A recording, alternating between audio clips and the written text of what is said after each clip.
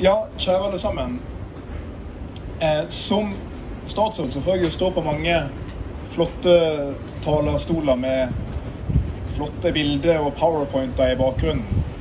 Eh, men jeg må bare si at jeg har sjelden stått på en så flott talerstol som denne her, med en så fin bakgrunn som den vi ser.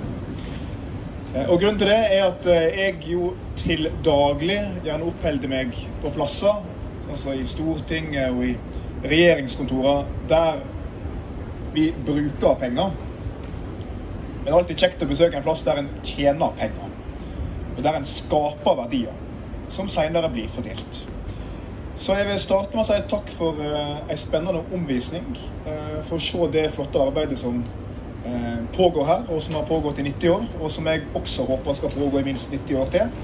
Og ikke minst få nyttig informasjon om alle de viktige investeringene som blir gjort.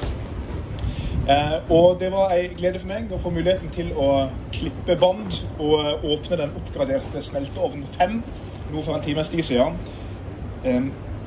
Elkem Bremanger er en verdensledende leverandør som bidrar til produksjon av en haug med viktige produkt. Noen av dere har dere sett nettopp. Og det taler om bidrag til produkt som er nødvendige i hverdagen for de fleste av oss. Enten det er biler eller det er mobiltelefoner. Så er det faktisk slik at dette er et produkt som er, og som kan bli, enda viktigere i det grønne skiftet i åra som kommer. Ikke minst i Norge så vet vi det når det gjelder bil. Produksjon av silisiumbaserte produkt skjer jo likevel ikke uten noen uønska virkninger.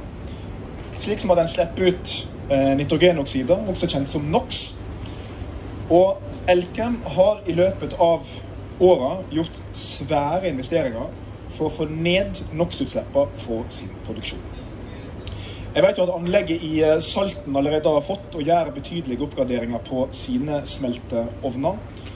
Og eh, Elkem er dessuten en veldig viktig bidragsyter i det som heter strategiprosessen prosess 21.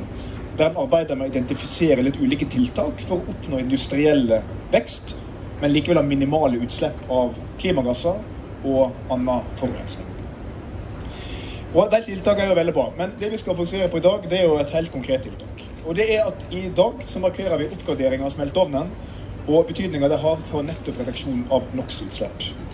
Og Den reduksjonen en oppnår med den investeringen som her er gjort, tilsvarer altså NOx-utslippene for 100 000 dieselbiler.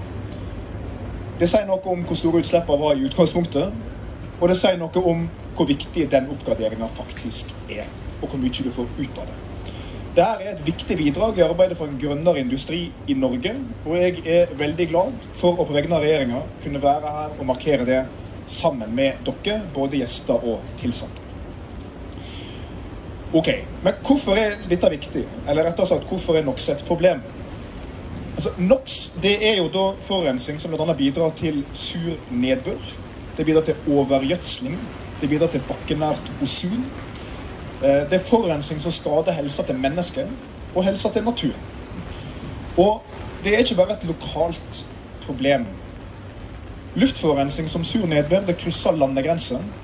Og NOx-utslipp er jo på den måten og derfor regulert i en del internasjonale avtaler om utslippsreduksjoner. Både gjennom EØS-avtalen og gjennom Göteborg-protokollen. I Norge så har vi over tid hatt ganske store NOx-utslipp. Og Derfor er det vært helt nødvendig å ta grep for å få bukt med det. Tilbake i 2006 da ble det innført en avgift på NOx for energiproduksjon. En hadde likevel et avgiftsfritak. og Det er for de virksomhetene som valgte å slutte seg til det som heter NOx-avtalen. Så fremt de følger forpliktelsene i den. Og Den avtalen er inngått mellom en rekke næringsorganisasjoner og oss i Klima- og miljødepartementet. Da han inngikk den avtalen, så opprettet han noe som heter NOx-fondet. Som de ulike da, avtalepartene som slipper avgift, heller betaler penger inn til. Og så kan de søke om penger fra det fondet for å investere i teknologi og redusere NOx-utslipp. Og Det er jo da ikke NOx-avgift på utslippene fra industrien, f.eks. her i Bremanger. Men fordi en her er med på den avtalen, så kan en altså søke støtte og betale inn til den. Og det er det som har skjedd. Så NOx-fondet har da bidratt med ca. 90 millioner kroner av det som da er samla investering på 250 millioner kroner her for å oppgradere ovn 5. Det viser jo både at Elkem er villig til å spytte inn betydelige midler sjøl, og det viser at den konstruksjonen med NOx-avtalen har vært vellykka. Så det er et godt samspill mellom det offentlige på den ene sida, som stiller noen krav, næringslivet som er villig til å stille opp, og så finner en sammen gode, fleksible løsninger. For oss i regjeringa er det viktig at Norge opprettholder de internasjonale forpliktelsene vi har om å redusere NOx-utslipp. Det er viktig både for å redusere forurensning i Norge, for norske innbyggere og natur, men også, som jeg sa, påvirkning internasjonalt. Denne oppgraderinga er et veldig viktig enkelttiltak, og det har stor betydning langt utover Svelgen og Elkem. Og om vi ser på alle tiltak som Elkem har gjort eh, på sine smelteovner, og som skal gjøres de neste åra, så er det altså bidrag som monner betydelig for å redusere Norges utslipp. Og ekstra moro må jeg få lov til å si at det er at det er altså Elkem sine egne tilsatte som har forska fram den løsninga som gjør at en nå får oppgraderte ovner og kutta i NOx-utslipp. Det er litt ulike måter å håndtere miljøutfordringer og klimautfordringer på. En veldig enkel måte å gjøre det på er å legge ned norsk industri. Det kan en jo gjøre. Da har du løst det problemet. Men egentlig ikke. For det eneste du gjør, er å skape masse arbeidsløshet, og så flytter du utslippene til en helt annen plass.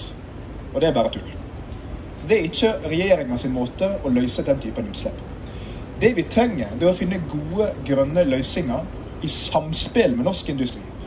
Både fordi at det kutter utslipp, og fordi vi tror at det er et konkurransefortrinn for norske industrivirksomheter for at de skal komme vinnende ut av det grønne globale skiftet. Det finnes en haug med eksempel på innovasjon, på viktige investeringer som blir gjort.